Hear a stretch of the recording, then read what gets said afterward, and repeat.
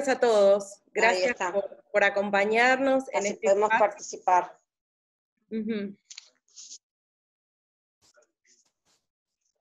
Ya está. Bueno, buenas tardes a todos. Gracias por, acompañarnos en este espacio. ¿Me escuchan bien, no es cierto? ¿Se escucha bien? Genial, buenísimo. Bueno, eh, gracias a la cámara, como siempre, por, Perfectamente, perfectamente. Eh, por convocarme, por, brindarme, siempre abrirme con, tanto cariño las puertas de su casa, aún virtualmente. Eh, para mí es un placer poder eh, organizar juntos estos eventos que ya desde hace un tiempo venimos organizando, llevando a cabo.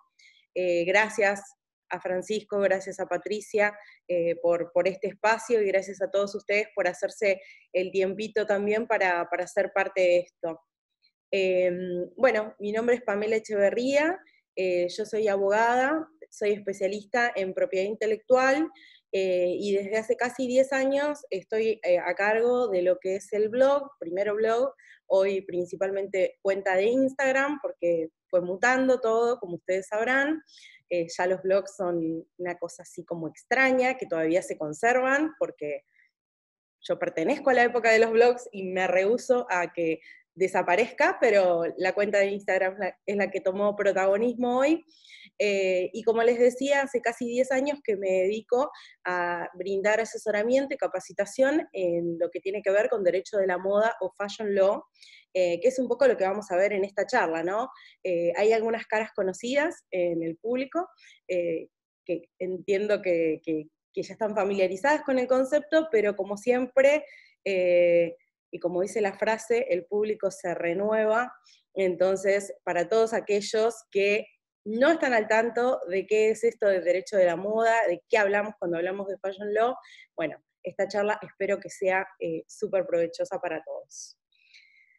No sé, Patri, eh, Francisco, si quieren decir algo. Hola, Pamela, buenas tardes. Hola, Francisco, ¿cómo andás? Bien, muy bien. No, agradecerte eh, esta, iniciativa. Además, es realmente de, vanguardia en el mundo de la moda, esta visión. Eh, si bien son cosas que, como vos decís, hace 10 años, desde tu, desde tu propia experiencia, pero realmente en este último tiempo vienes hablando cada vez más fuerte el concepto de derecho a la moda. Así que estamos muy contentos de, de poder llevar adelante eh, bueno, junto a, toda tu experiencia, esta iniciativa. Así que simplemente eso. Muchas gracias y acá esperemos, como decís vos, que tengamos muchas actividades más. Sí, eh, Totalmente, sí, sí, es que es así, Francisco, es como vos decís, eh, si bien hace tiempo ya que viene, o sea, recién en estos últimos años empezó, te diría, del año pasado esta parte, a, sonar con fuerza eh, lo que es el concepto y lo que es esto de Fashion Law, ¿no? Eh, es, cierto, es cierto. Pero bueno. Bueno. Bueno, arrancamos entonces. bueno, ¿qué es el Fashion Law, no? Es un poco la idea de, de por dónde empezamos acá, o sea, ¿qué es esto? Y la verdad es que siempre me gusta, y, Patri creo que me ha escuchado eh, traer siempre a reflexión esta frase, ¿no? La moda es la única industria a la que recurrimos día a día.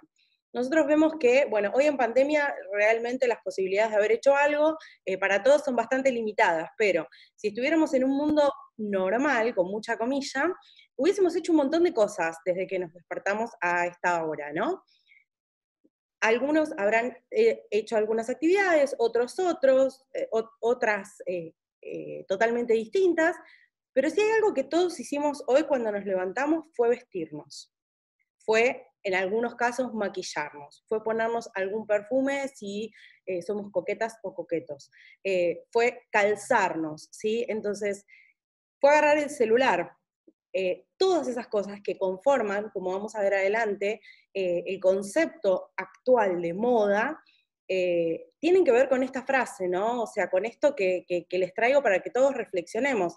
La realidad es que es la única industria a la cual recurrimos. Nosotros podemos recurrir o no al entretenimiento, por ejemplo, si hoy decidimos ver una serie o una película, podemos recurrir a la industria del transporte si tenemos que trasladarnos de un lado al otro, pero la moda es esa industria de la cual no podemos escapar, eh, tengamos la planificación que tengamos eh, para el día.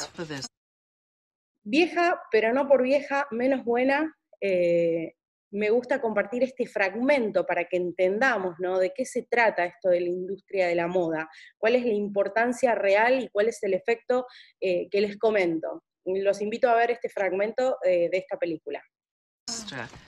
Why is no one ready? Here. It's a tough call. They're so different. Mm.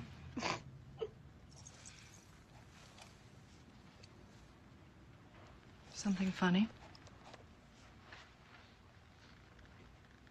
No. No, no, no, nothing's, you know, it's just that both those belts look exactly the same to me. You know, I'm still learning about this stuff and, uh... this stuff? Oh, okay. I see. You think this has nothing to do with you. You go to your closet and you select, I don't know, that lumpy blue sweater, for instance, because you're trying to tell the world that you take yourself too seriously to care about what you put on your back. But what you don't know is that that sweater is not just blue. It's not turquoise, it's not lapis, it's actually cerulean. And you're also blithely unaware of the fact that in 2002, Oscar de la Renta did a collection of cerulean gowns. And then I think it was Yves Saint Laurent, wasn't it, who showed cerulean military jackets? I think we need a jacket here. Hmm. And then cerulean quickly showed up in the collections of eight different designers. And then it uh, filtered down through the department stores and then trickled on down into some tragic casual corner where you no doubt fished it out of some clearance bin. However, that blue represents millions of dollars and countless jobs. And it's sort of comical how you think that you've made a choice that exempts you from the fashion industry when in fact you're wearing a sweater that was selected for you by the people in this room from a pile of stuff. Bueno, nada, más allá de la crueldad. Del personaje que, interpreta Miranda, eh, un poco la reflexión que nos trae este fragmento, entre otras cosas, es, por un lado, ese, eh, eh, ese concepto, esa carga negativa, ¿no? Del concepto de moda y de lo que refiere a la moda, en el sentido de interpretarlo o tomarlo como una cuestión banal, como una industria sobre la cual no, tiene demasiada relevancia, no tiene demasiada importancia, no tiene demasiada seriedad, parecería que, se trata de un conjunto de personas haciendo cosas frívolas, ¿no? O sea, eso es lo que rescatamos de este fragmento y lo que me gusta a mí eh, de por qué traerlo siempre a reflexión en el comienzo de estas charlas. Eh, primero porque el concepto de frivolidad eh, vinculado a la industria es un concepto muy, muy, muy marcado y que todavía, eh, si bien estamos en, miras y, en el camino a cambiarlo, porque la industria cada vez está profesionalizando más y en Argentina la Cámara es pionera en esto, en, en brindar a todos los que se acercan y a todos sus asociados una profesionalización, ¿no? Ir cambiando este concepto, porque también parte mucho desde ese lugar, ¿no? E, esta, e, esta concepción de industria frívola, poco profesionalizada, que antes eh, tenían muchas personas.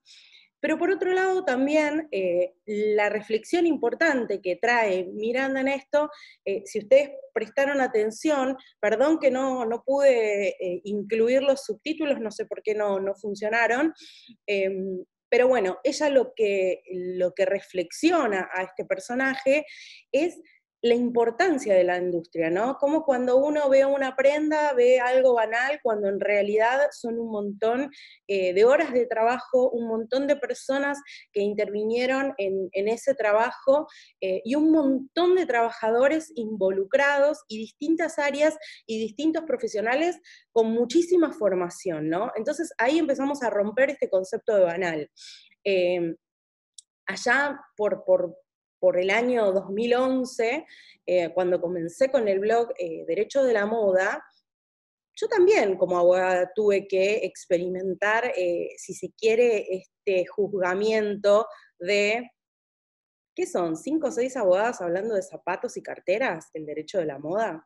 Bueno, les puedo asegurar que en 2020 eh, la comunidad jurídica está más que de acuerdo con que no se trata de eso y con que fue una, una, apreciación por lo menos prematura. ¿Qué es el derecho de la moda? ¿No? Nosotros estuvimos viendo eh, esto, eh, la, reflexión, cuál es la importancia que tiene la moda en nuestro día a día, pero qué es lo que tiene que ver el derecho con todo esto. Si nosotros tuviéramos que hacer un poco de historia, eh, quizás haciéndolo resumido para no aburrirlos, eh, la realidad es que el derecho y las normas siempre se vincularon a la industria, ¿sí? Siempre tuvimos eh, una reglamentación, por decirlo de alguna forma, para algunas actividades, para algunos cargos, para algunas personas, ¿sí? ciertas personas que, ocupan determinado lugar, en la sociedad siempre estuvieron eh, regladas. Si nosotros nos ponemos a ver, por ejemplo, eh, en cuestiones relativas a la religión, en cuestiones relativas a eh, lo que tiene que ver con uniformes, por ejemplo, militares, ¿sí? En todos esos ámbitos vemos que siempre existieron reglas. Y si vamos un paso más atrás y vemos en la realeza, eh, hace muchísimos, muchísimos años atrás, la realeza del lugar del mundo donde tomen, van a ver que determinados colores estaban eh, solamente permitidos o autorizados para determinadas personas, lo mismo determinados géneros, y ahí vemos cómo el derecho siempre se vinculó con la industria de la moda, principalmente con, con el sector de indumentaria, eh, reglando todas estas cuestiones. Entonces, en un primer momento podríamos decir que no es casual, ¿no? Que hoy estemos hablando de derecho de la moda, porque en realidad el derecho y la moda estuvieron vinculados desde el comienzo en que, eh, en que el mundo civilizado se comenzó a vestir, ¿no? Valga la redundancia. Pero ¿por qué ahora hablamos de derecho de la moda? ¿Qué es lo que cambió para que eh, los abogados hayamos puesto el foco en esto y nos hayamos dado cuenta de que es una industria que necesita, entre otras cosas, un asesoramiento jurídico especializado? Si nosotros viéramos un poco, y acá sí vamos puntualmente a lo que es la historia de nuestro país, ¿sí? Eh, desde hace ya varios años esta parte, vemos cómo la industria de la moda empieza a profesionalizarse. Vemos cómo eh, de alrededor de esta industria empiezan a erigirse y a formarse eh, profesiones. Ya no vemos al fotógrafo que participa en una campaña, si no vemos al fotógrafo especialista en moda, lo mismo a la gente de marketing, lo mismo los asesores, ¿sí? Entonces empezamos a ver que existe una profesionalización de los vamos a decir, de los players principales de la industria, en donde eh, este concepto de moda, como en un comienzo se tenía, como una persona pudiendo hacer eh, su ropa en su hogar, o una modista o algo, comienza a mutar eh, empieza a haber una profesionalización y con esto eh, nuestro país, me atrevería a decir desde la crisis del 2001 en adelante, empieza a desarrollar y empieza a hacerse muy, muy, muy fuerte en lo que es el concepto de diseño de autor. Eh, basta con que cualquiera de nosotros, de nosotros digo los argentinos, porque sé que hay en, el público gente del exterior, pero basta con que cualquiera de los argentinos que estamos presente, presentes en esta charla vayamos a algún otro país, salgamos de nuestro país para ver cómo el diseño argentino es reconocido, ¿sí? Y el diseño de autor argentino es reconocido. Entonces, en esta historia es donde, como les comentaba, allá por el año 2011, eh, doy con el término fashion law. Entonces digo, mis grandes pasiones, el derecho por, por por default, por abogada, eh, y la moda por fanática de todo lo que tiene que ver eh, con, esta industria, eh, se juntaron. Entonces, cuando empiezo a ver todo esto y empiezo a analizar de, qué viene el concepto y demás, y cómo, cómo estas dos industrias estaban vinculadas, en principio, en el derecho anglosajón, doy con un blog, el blog de Susan Scafidi, que es una abogada, para los que no saben, es una abogada de New York, ¿sí? Eh, que bueno, fue pionera en esto, en, esto de, vincular de forma eh, académica primero el derecho y la moda, eh, y fue pionera también en constituir el primer instituto, que es el Fashion Law Institute, que está, como les decía, en la ciudad de New York, en, en la Universidad de Fordham, en el cual tuve el placer de participar como ponente en el año 2005, eh, hablando un poco de la propiedad intelectual y eh, la moda acá en Argentina. Ella empieza a acuñar este término, ¿sí? el fashion law. ¿Y qué es el fashion law?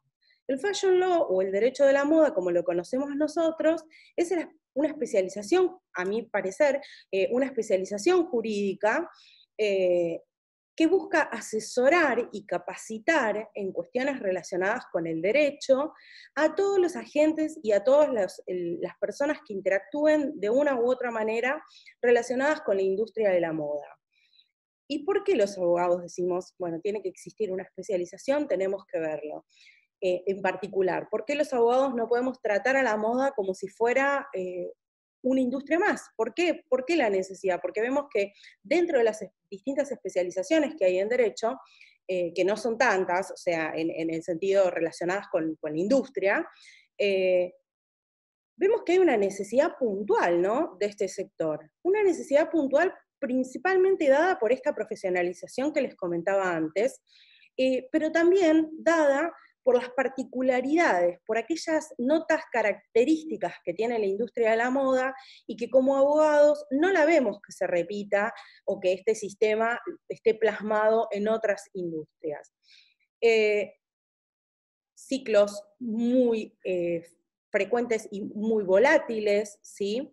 Eh, contrataciones que no, eh, para los abogados de, la audiencia, si, eh, si, los que me están escuchando, formas de contratación totalmente disfuncionales en el, en el, sentido de lo que nosotros como abogados estamos acostumbrados, o sea, nosotros estamos acostumbrados a que cuando dos personas eh, jurídicamente se ponen de acuerdo en algo, hay un contrato, eh, eventualmente vamos a una escribanía, certificamos firmas y demás, bueno, todas esas cuestiones en la industria eh, y en la moda vamos a ver que están, les diría, muy limitadas a casos muy particulares, ¿sí?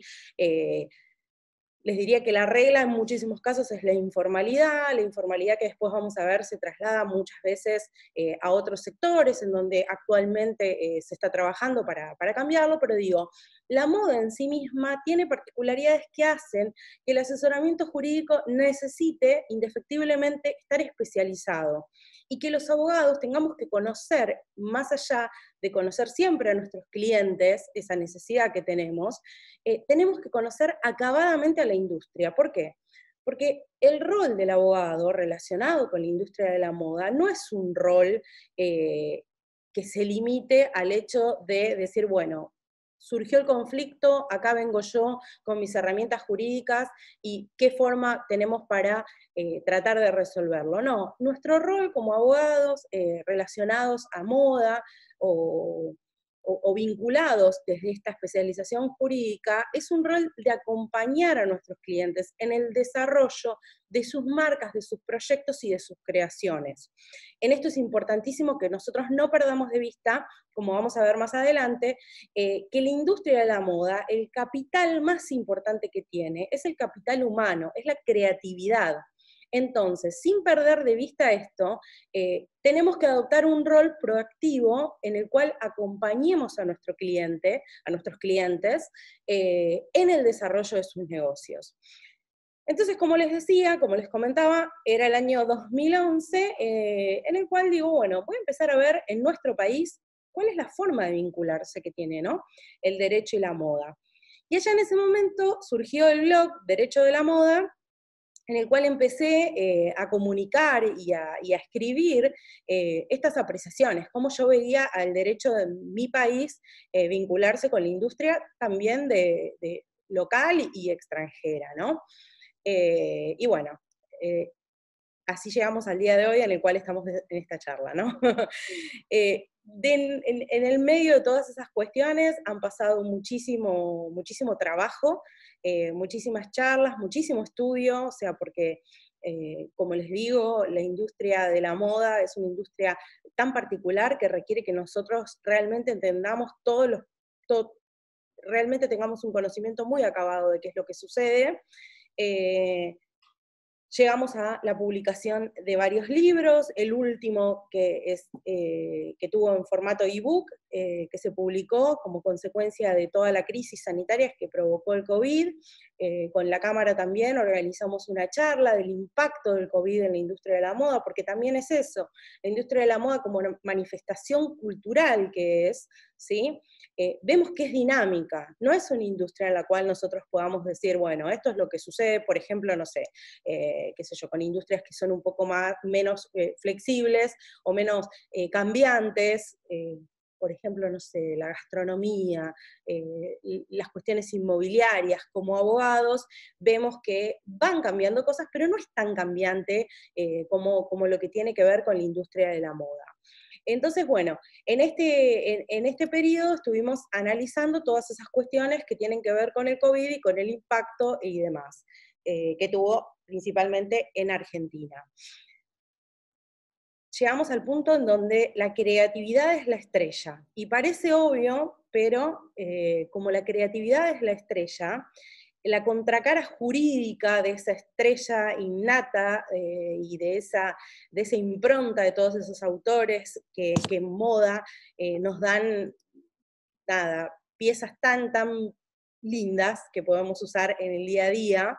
Eh, hay una, reflexión que a mí también me gusta compartir ¿no? en, en, estos espacios, y que es que, bueno, que en cierta forma uno tiene que, analizar a la, moda eh, como una obra de arte en donde el lienzo es el cuerpo humano. A mí me pareció fantástico cuando lo escuché eh, de un profesor italiano que, dijo esto y dijo, bueno, en realidad es una obra de arte, es una obra de arte aplicada para, lo que, para, los abogados de la audiencia, eh, según su, apreciación. y en este concepto de creatividad vemos que les diría que la estrella, como, como la estrella de la moda es la creatividad, la estrella del derecho de la moda o del fashion law es la propiedad intelectual. ¿sí? Propiedad intelectual eh, entendida en sentido amplio, ¿sí? contemplando lo que tiene que ver con propiedad industrial y con derechos de autor, eh, y una propiedad intelectual que también eh, ocupa un rol proactivo y no solamente se limita a prohibir que otros usen sino que acompaña a los diseñadores en esto de proteger y expandir su negocio. ¿sí? Esa, es la, esa es la beta característica que tiene la propiedad intelectual relacionada a la industria de la moda. ¿Qué es la propiedad intelectual? ¿Sí? Llegamos a este punto. Ya sabemos qué es la moda, ya sabemos qué es el derecho de la moda, ya eh, exploramos lo que tiene que ver con la importancia eh, no solamente social, eh, cultural y jurídica de esta industria, y llegamos al punto donde, ¿qué es la propiedad intelectual? Y para aquellos que no son abogados, la propiedad intelectual es el conjunto de normas jurídicas que a nivel nacional e internacional, a través de los tratados que cada país firma, protegen la creatividad y la van a proteger en distintos aspectos. Eh, dentro de los institutos propios de la propiedad intelectual, les diría que como primero vamos a encontrar a las marcas. Y digo, ¿por qué primero van a estar las marcas? Porque eh, si nosotros vemos el trabajo de cualquiera de nosotros, ya sea con nuestra marca personal, como con nuestra marca, eh, por ejemplo, de indumentaria o de joyería o de calzado, o marcas tecnológicas, que hoy la tecnología y el mobiliario también conforman eh, el concepto de moda, vemos que es la forma eh, por excelencia en la cual el diseñador o el autor, dependiendo del caso que se trate, eh, se va a comunicar con su público consumidor, ¿sí? Le va a decir a los consumidores, esto es, este es el producto que yo vendo y lo vendo a través de esta marca. Entonces, ¿por qué son importantes las marcas? Por ese vínculo que generan con el consumidor, ¿sí? Eh, porque generan ese sentido de pertenencia, entonces el consumidor que tiene quizás una necesidad de, por ejemplo, vestirse, eh, se vincula con eh, alguna marca y necesita identificarla, necesita identificar bajo un nombre ese producto. Eh, hoy vemos que además las marcas, desde el punto de vista, eh, les diría, del branding, ya no tan desde el, ámbito jurídico solamente, eh, sino también desde el punto de vista del branding, vemos también que las marcas traspasan esto y en cierta forma, o sea, traspasan los términos jurídicos y buscan además vincularse desde otro lugar con el consumidor, desde el lugar de contar una historia. Por eso es que eh, nosotros vemos en revistas especializadas y en foros de debate eh, internacional que el storytelling, que esta historia detrás de las marcas, que cualquier eh, actor de la industria tiene que buscar, cobra protagonismo, ¿sí? Y cobra protagonismo principalmente porque el consumidor está cambiando.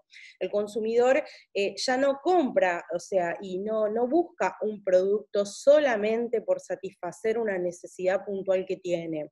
Eh, también lo elige por la historia, eh, por el compromiso con los actores de la sociedad, con el medio ambiente, con un montón de cuestiones muy personales que nos van a motivar a cada uno de nosotros a elegir un producto de una marca por sobre la otra, eh, y esta es la importancia, no solamente desde el punto de vista jurídico, sino también desde el punto de vista, como les decía, del branding, que van adquiriendo en la actualidad las marcas. ¿Qué es una marca? Para nuestro ordenamiento jurídico y para el ordenamiento jurídico de la mayoría de los países del mundo, eh, una marca es todo signo con capacidad distintiva. Entonces, como les comentaba recién, ¿no? Esta distinción entre una marca, entre un producto de una marca y otra que busca el consumidor es lo que transmiten las marcas. ¿Y por qué son importantes eh, las marcas más allá de, como les comentaba, eh, la posibilidad de identificar esos productos? ¿sí? Las marcas son importantes también porque eh, a través del uso de las mismas, nosotros no solamente vamos a decir que este producto es de nuestra autoría o que pertenece a determinada empresa o a determinado diseñador, sino que también le vamos a comunicar a la competencia de que ese nombre es nuestro y que a través de ese nombre y a través de ese diseño nosotros vamos a comercializar determinados eh, productos o servicios.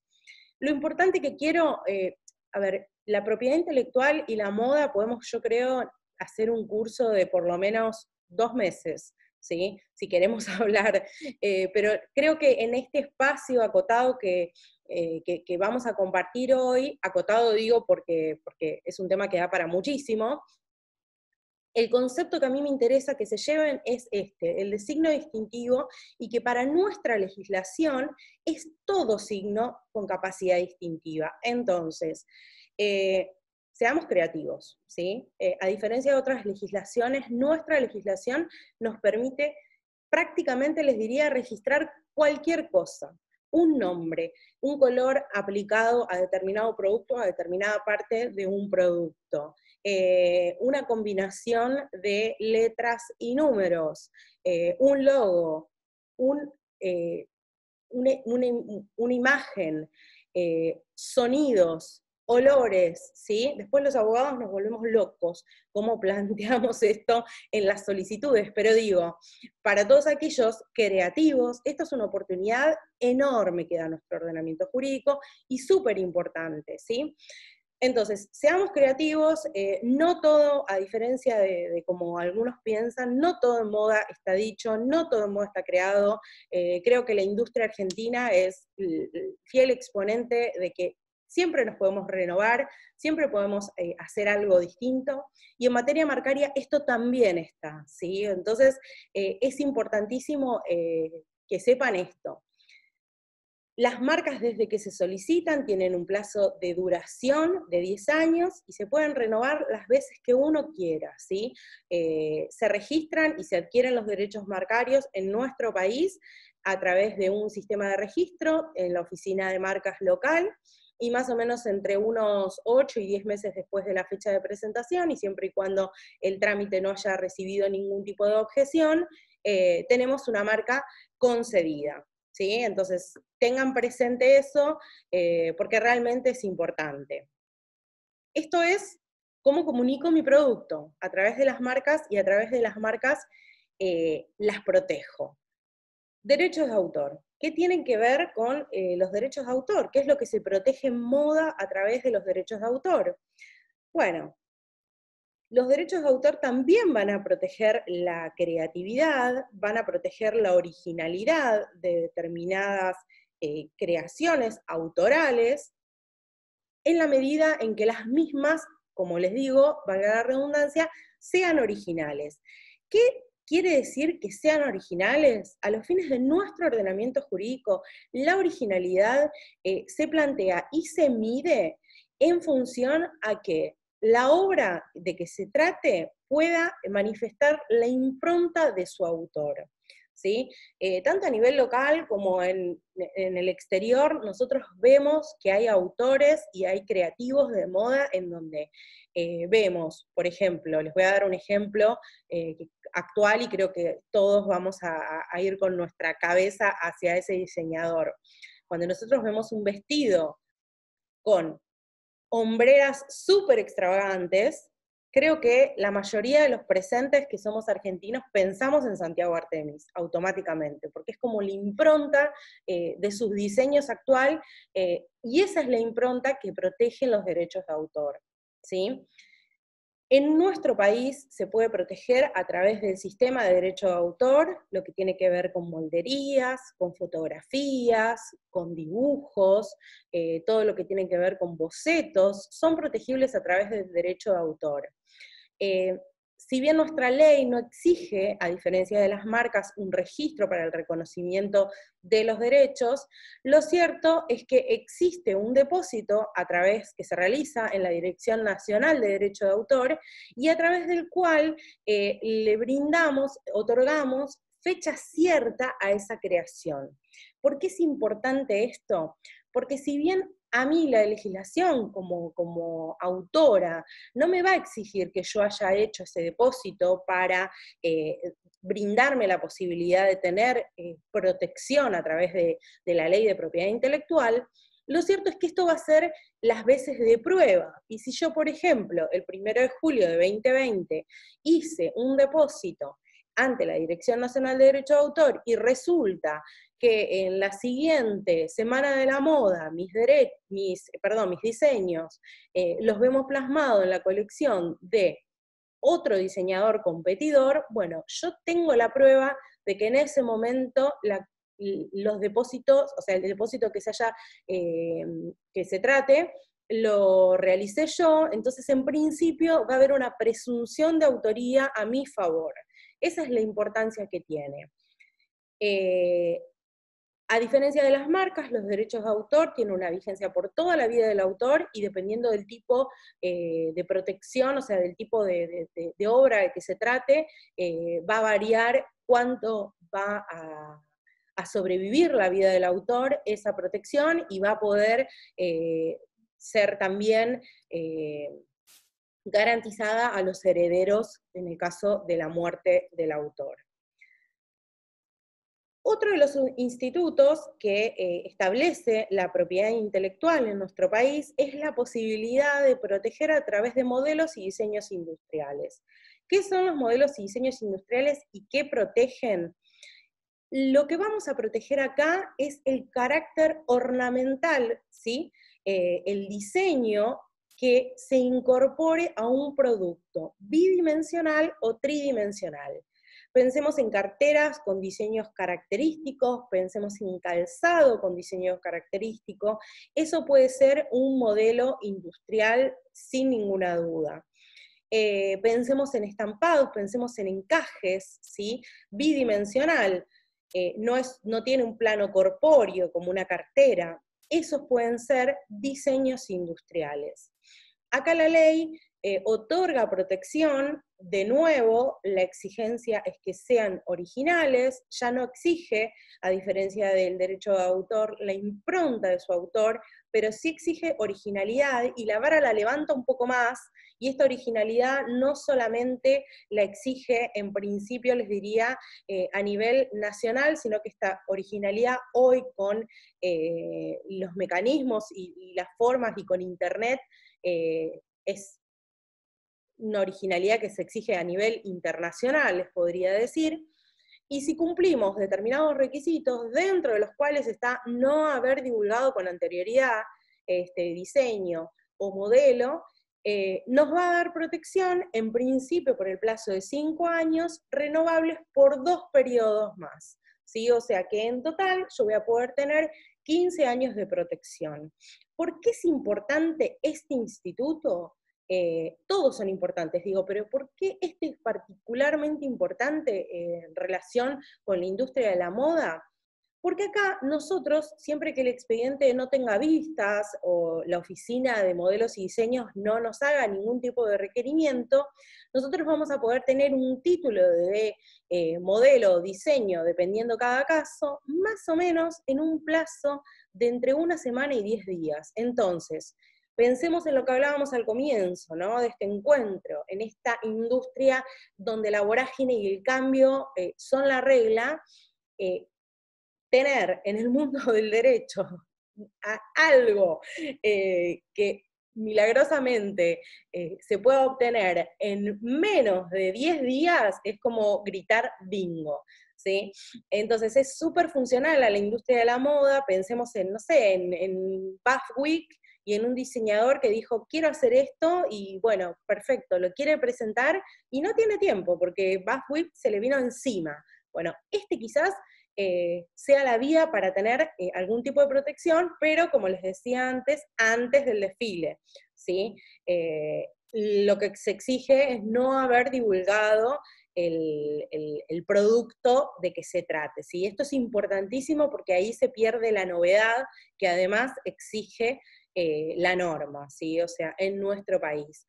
Este modelo también eh, de protección lo encontramos en, lo que tiene que ver con los modelos y diseños industriales europeos, ¿sí? con lo cual ténganlo en cuenta porque si en algún momento además eh, como diseñadores tienen un potencial mercado en Europa, este, este mecanismo de protección también lo podemos llevar eh, del otro lado del viejo continente.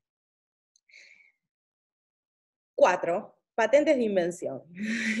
Las patentes de invención, hagamos de cuenta como que esta charla fue una subidita de escalera en cuanto a, la exigencia de requisitos legales, eh, y las patentes de invención les diría que están en, eh, en, esa punta donde la ley, a los fines de poder reconocer derechos, eh, tiene exigencias mayores, dentro de las cuales mm, está, además de la originalidad, la novedad a nivel mundial también nos va a exigir, y además eh, nos va a pedir una serie de requisitos ¿Qué hace? Eh, más que nada teniendo en cuenta a la altura inventiva ¿sí? y a la capacidad eh, de producción eh, industrial del producto que, que se trate, los requisitos que nos exige la ley para el caso de las patentes de invención hacen que estén reservadas solamente para algunos productos muy puntuales eh, de lo que tiene que ver con el sector. No por eso es un instituto de propiedad intelectual que tiene que descartarse. Eh, a mí me gusta siempre traer eh, a, este, a, estas reuniones, y cuando hablamos de patentes, todo lo que tiene que ver con técnicas relacionadas con textiles sustentables. ¿sí? Por ejemplo, hace unos años atrás, les diría más o menos unos cinco años atrás, un documental que se publicó en YouTube, eh, justamente, bueno, contaba la historia de una diseñadora de Londres que a través de, les diría, la fermentación, ¿sí? Eh, de determinados productos con la tintura, la mezcla de, otros eh, tipos de ingredientes, lograba tejidos sustentables a partir de esto, ¿no? Eso puede ser patentable. ¿sí? Eh, pensemos en la tecnología, eh, en todo lo que tiene que ver con eh, tejidos inteligentes, ¿sí? Hace un tiempo atrás Adidas sacó al mercado unas remeras que tenían tejido inteligente y que cuando la temperatura corporal de las personas aumentaba, producto de la actividad física, el, tejido se abría, permitiendo la, expulsión del sudor o de la transpiración de la persona, ¿no? eso también puede ser materia patentable. En este caso también la ley nos pide novedad absoluta, ¿sí? no podemos haber divulgado, salvo algunos casos puntuales que específicamente eh, la ley establece y reconoce en nuestro país. Eh, y si logramos con, éxito eh, pasar todas esas cuestiones, todos esos requisitos que nos pide, después de más o menos unos tres años, vamos a tener eh, un título de patente de invención. Esto nos va a dar el derecho exclusivo de explotar esa invención durante el plazo de 20 años, eh, y durante ese plazo vamos a ser los únicos que vamos a explotar este invento que hayamos patentado, ¿sí?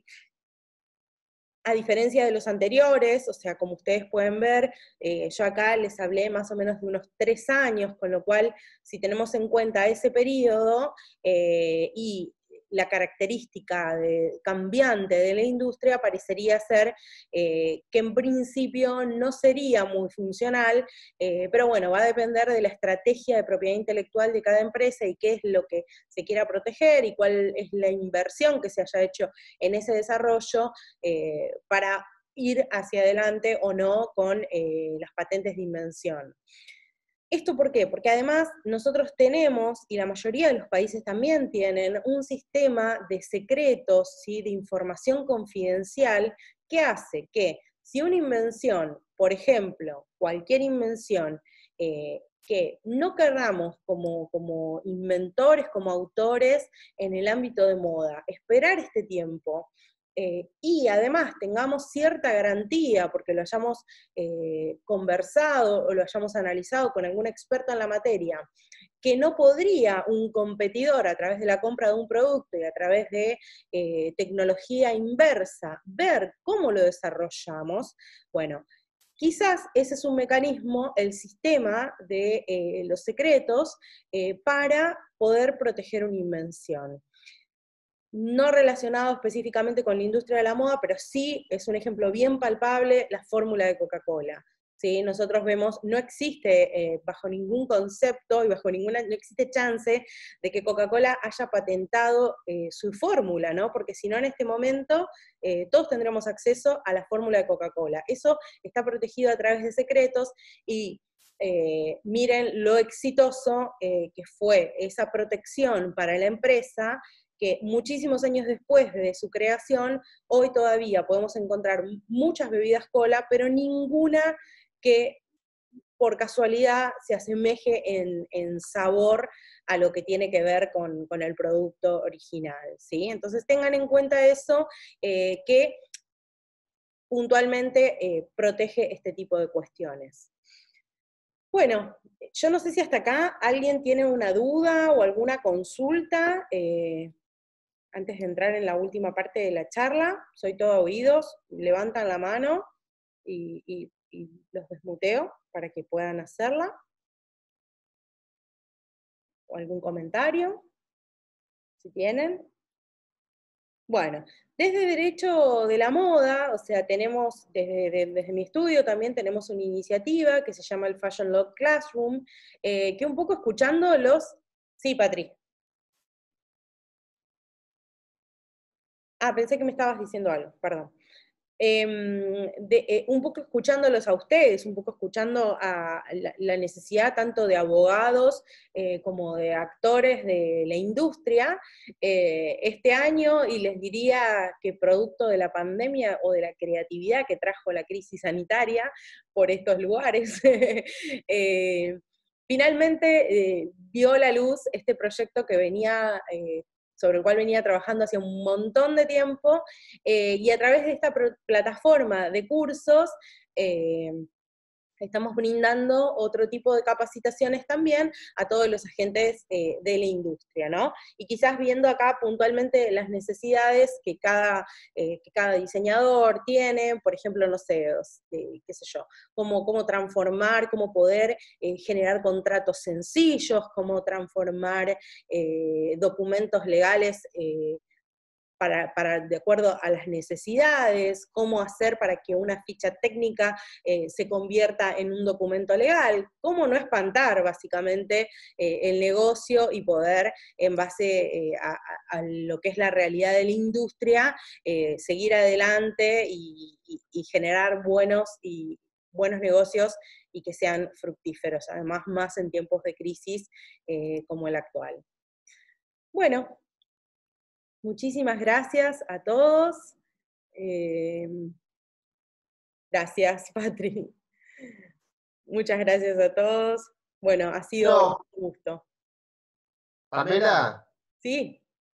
Pamela, no, eh, súper interesante, súper interesante todo lo que contaste. Em, con respecto a los, a los nombres, cuando la marca es un nombre propio, como, como es mi caso, em, hay, hay unos derechos naturales, además, ¿no? Por, ser un nombre propio.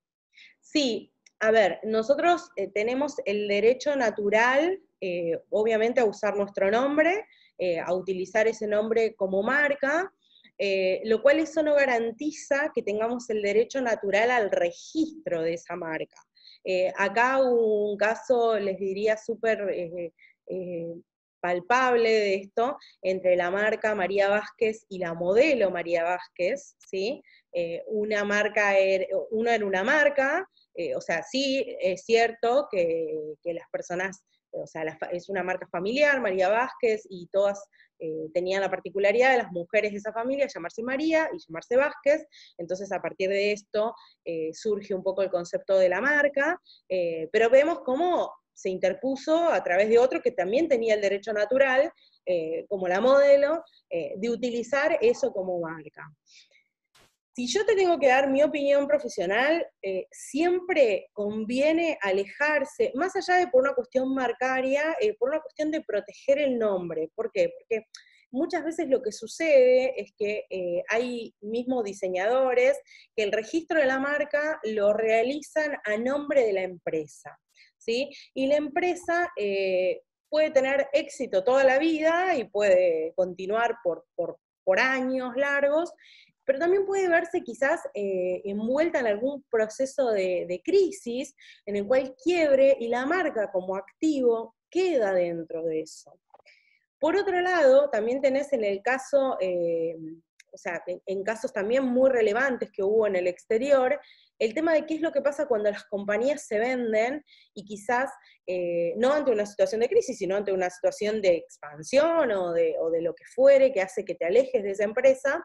Eh, y la marca queda en el medio. Entonces, ¿qué es lo que pasa con ese diseñador y cómo sigue comercializando sus productos si, por ejemplo, parte del deal de la venta de esa empresa haya sido que dejen la marca?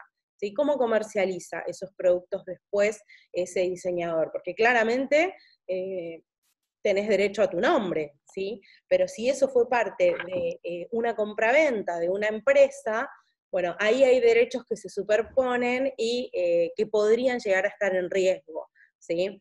Em, con lo cual, nada, o sea, es una cuestión de estrategia, de qué es lo que uno quiera eh, realizar. Em, existen estos riesgos. Lo cierto es que siempre los productos, eh, cuando uno los asocia con un nombre personal y con un diseñador, eh, es buenísimo porque podemos además ver la extensión de nuestro trabajo en eso, en eso que tiene que ver con el diseño, pero existen estos riesgos que muchas veces eh, se desconocen, y más cuando uno comienza eh, un proyecto con, bueno, con toda la, esperanza y la expectativa de que funcione. O sea, nadie se imagina que en algún momento o va a vender la empresa o que puede quebrar, por ejemplo, por darte un ejemplo. Eh, claro, por supuesto. ¿Y es un trámite muy costoso? No, no es costoso, o sea, a ver, eh, el trámite en sí mismo, vos tenés que pensar que tiene de costo de tasas en Argentina 2.210 eh, pesos por marca y por clase internacional en la cual nosotros querramos registrar esa marca.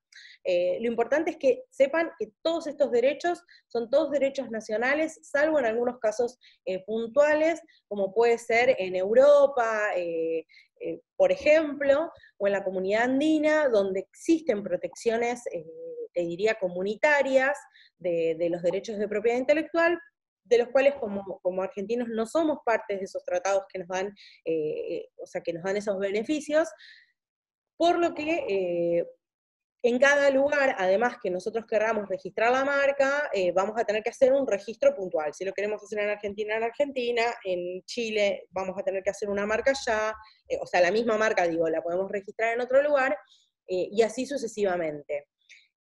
a esta tasa que te comento hay que sumarle los honorarios del profesional que intervenga en el registro. es un trámite que si bien se puede hacer, cualquier emprendedor eh, o cualquier empresa lo puede hacer de forma personal.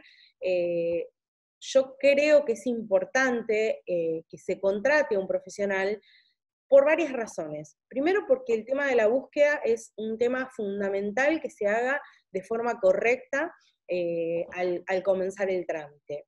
Y después, por una cuestión, una sencilla razón. Nadie, pero no existe una sola persona que durante los 10 años de vigencia de la marca vaya a leer los boletines oficiales de la oficina de marca y se fije si se presentan marcas similares o confundibles con las de uno. ¿sí? O sea, no existe forma. No, el que me diga si yo lo hago, le digo, estás mintiendo. Hay, hay meses que hay, no sé, hay semanas que hay hasta cuatro boletines. O sea, nosotros los abogados que nos especializamos y que trabajamos en propiedad intelectual, tenemos programas que nos ayudan en ese trabajo, porque realmente la cantidad de información que hay que procesar es enorme. Entonces, si lo vemos desde ahí, no desde el registro en sí mismo, porque es un trámite que si no tiene objeciones, no tiene vistas y demás, puede ser un trámite que, eh, que lo pueden realizar los particulares sin problemas, pero digo, hay un tema y que es, primero, si recibe vistas o oposiciones, vas a necesitar contratar un abogado o un agente de propiedad industrial eh, que te ayude en el trámite, y si eh, no recibiste nada de esto, bueno, después necesitas a alguien que te cuide la marca, ¿sí? que esté custodiando que eh, nadie presente una marca similar, eso es fundamental. ¿sí? Y ahí es donde digo, bueno, quizás vale la pena contratar un profesional que te ayude en el registro. Muchas gracias. No, por favor. Bueno, no sé si alguien tiene alguna duda o un comentario, que alguna, alguna Hola. quiera compartir. Hola. Hola, buenas tardes. Mi nombre es Carmen Arteaga y yo tenía una duda. Sí, claro. Actualmente, yo soy estudiante de Derecho de Venezuela y a mí siempre me ha eh, llamado mucho la atención el derecho de la moda. Sin embargo, veo que es una rama del derecho bastante novedosa y yo quería preguntarte cuál era el camino que tenía que seguir un abogado para especializarse como abogado del derecho de la moda. Perfecto. Mira, Carmen, yo lo que primero, eh, o sea, a ver, en, este espacio no, no, lo vimos, pero derecho de la moda, más allá de, o sea, vimos en este encuentro todo lo que tiene que ver con propiedad, algo de lo que tiene que ver con propiedad intelectual, ¿no? Eh, pero el derecho de la moda además cubre cuestiones que tienen que ver con contratos, con cuestiones de derecho laboral, con derechos humanos, con cuestiones de sustentabilidad y sostenibilidad, eh, con cuestiones relacionadas a impuestos, eh, mil cosas, ¿sí? todas las temáticas de derecho penal, cuestiones relacionadas con sociedades comerciales, ¿sí? Es muy amplia el espectro que cubre el derecho de la moda. Entonces, como primer consejo, yo lo que te daría es que dentro de lo que es las ramas tradicionales del derecho, eh, te digo ramas tradicionales por, por todo esto, porque bueno, eh, existen muchos abogados, dentro de los cuales te diría que estoy, eh, que consideramos que esto no es una rama del derecho porque no tiene una autonomía como puede ser el derecho laboral, que tiene leyes propias, o el derecho penal, que tiene leyes propias, sino que el derecho eh, eh, relacionado a la moda y el derecho de la moda es como si lo tuviéramos que ver gráficamente, es como que transversalmente pasa y atraviesa todas las ramas del derecho. ¿Sí? Entonces, dentro de esas ramas del derecho, mi consejo sería, fíjate cuál es la que más te gusta a vos y en cuál vos te querés dedicar. Y una vez que eh, tenés bien identificado eso, ahí sí especializarte en derecho de la moda, porque como te digo, hay cuestiones características eh, que tiene la industria y que tiene el derecho relacionadas a la moda que es importante saberlo y especializarte. Eh, esto no te va a dar a vos una visión de especialista en todas las ramas del derecho, pero sí lo que te vas a, transformar a vos es en una especialista en derecho de la moda, ¿sí? Eh, que puedas liderar equipos de trabajo, por ejemplo, en el cual esté con, eh, equipos de trabajo que estén conformados por distintos profesionales de distintas disciplinas. Entonces, vos con una formación en Fashion Law en Derecho de la Moda, lo que vas a poder es tener un conocimiento acabado de cuáles son las problemáticas relacionadas entre el derecho y la industria. Y ahí vas a poder guiar, por ejemplo, al abogado penalista que te ayude y te asista, o que ayude y asista a la empresa en cuestiones relacionadas con derecho penal, al abogado que haga eh, derecho aduanero en cuestiones que tengan que ver eh, con eso, ¿sí? Y quizás vos desde, por ejemplo, te doy mi caso en particular, a mí me pasa eh, que como especialista en propiedad intelectual, mi fuerte en el asesoramiento a las industrias es ese, es la propiedad intelectual y el tema de los contratos empresariales, ¿sí? Eh, obviamente también relacionados a la tecnología, ese es mi, te diría, mi, mi, expertise. Y además, tengo la experiencia y tengo la especialización en derecho de la moda. Pero, ¿qué es lo que pasa? ¿Qué es lo que te da esto? Eh, te da una experiencia y te da una especialización y un conocimiento en la industria, pero también te da la alerta de cuándo poner el freno, poner el pie en el freno y decir, bueno, ok, sumo al abogado laboralista para este tema eh, puntual, sumo al abogado penalista para este tema puntual, ¿sí? Y poder ayudarlo y guiarlo por el conocimiento que vos tengas en, eh, en derecho de la moda o en fashion law. Increíble, muchísimas gracias y muy amable. No, por favor, Carmen. Gracias a vos. Pamela, yo igual tengo una pregunta. Sí, claro. Carolina Fernández. Eh, tú has, yo, bueno, desde Chile eh, te estoy viendo muy clarita en tu presentación, muchas gracias. Y eh, tú haces cursos en referente a este tema de la contratación. sí, sí, haces especialización. Sí, a ver, de vuelta, te cuento mi experiencia. Yo eh, tengo una actualización en derechos de años y contratos por la Universidad de Salamanca y los conocimientos ahí adquiridos los vuelvo a la industria, ¿sí? O sea, de nuevo, es como que tenemos que ir un paso atrás. Eh, a ver. no, no, pero mi pregunta puntual era si tú ah, das tú impartes ah, estos cursos para poder uno ir, obviamente, inscribiéndose y teniendo más información respecto a cómo tú vas eh, metiendo esto de los contratos al, puntualmente al mundo de la moda. Sí, totalmente. Nosotros, mira, con la cámara damos cursos siempre. Eh, bueno, siempre dimos cursos presenciales, pero este año y a partir de, esta nueva realidad eh, estamos dando cursos online. Eh, también damos cursos a través del Fashion Law Classroom. Eh, la idea es que los cursos ahí siempre sean online, más allá de algún encuentro que podamos llegar a tener, eh, pero lo que, lo, que me parece súper valioso es la posibilidad de conectarnos, ¿no? Eh, tiene las plataformas digitales y, de que, bueno, mira, en este momento estamos hablando de Argentina, Venezuela y Chile, y esto no sería posible en otro contexto que no sea el digital. a través del, del Fashion Law Classroom también nosotros damos cursos eh, ahora el 25, actualmente, eh, tenemos uno eh, que tiene que ver con cuestiones relacionadas con ficha técnica y cómo transformar una ficha técnica en un documento jurídico. O sea, lo que sería para los abogados una contratación con un taller. ¿sí? Buenísimo. Bueno, voy a estar atenta, muy atenta a este curso. No, por favor. Muchas gracias. No, a vos. No sé si alguien más tiene alguna pregunta. Soy todo oídos. Yo quiero agregar y, mencionar lo, valioso, como siempre, que es cada una de las propuestas, el aporte que vas eh, generando y, y la conciencia sobre lo que significa trabajar dentro de la industria de la moda seriamente, porque es valioso ver cómo a nivel internacional se se cumplen con, ciertas normas y ciertos requisitos que aquí en nuestro país se, están descubriendo y la gente va tomando también conocimiento para implementarlas a partir de, estas acciones que llevas adelante, Pamela. Así que la verdad, como siempre, un placer. Gracias, Patri, gracias. La verdad que es un placer compartir siempre espacios eh, con vos, con la cámara, o sea, es un, es un placer porque, bueno, en definitiva, lo que, lo que estamos buscando con esto es dar herramientas, ¿no? Es que, es que nuestros diseñadores sean cada vez más productivos y puedan llegar cada vez más lejos.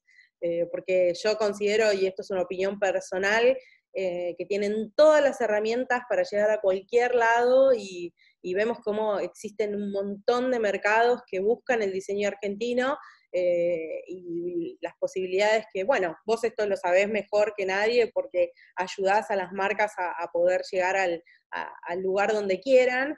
Eh, y, vemos como, como, como, bueno, hay todo un sinfín de posibilidades ahí esperando afuera y muchas veces, o sea, se necesitan herramientas, ¿no? Tal cual y lo valioso que es conocer esas, esas posibilidades. No sé si Fran quiere agregar algo más. Fran, te veo ahí en, línea. No, no, simplemente agradecerle a Pamela y, bueno, esperando eh, las, nuevas actividades, porque es un mundo que tiene, eh, bueno, e, estos son, es una cosa muy incipiente, es lo que, y que suscita mucho interés. Así que eh, esperemos cuanto antes tener una nueva actividad junto con ella. Claro, sin duda, sin duda. Ya nos ponemos a trabajar en eso, Fran. Buenísimo. Bueno, bueno, muchísimas gracias a todos. ¿sí? Gracias primero eh, y principal a la Cámara. Aplausos para ustedes también. Eh, una vez más, gracias a ustedes por haber compartido este espacio.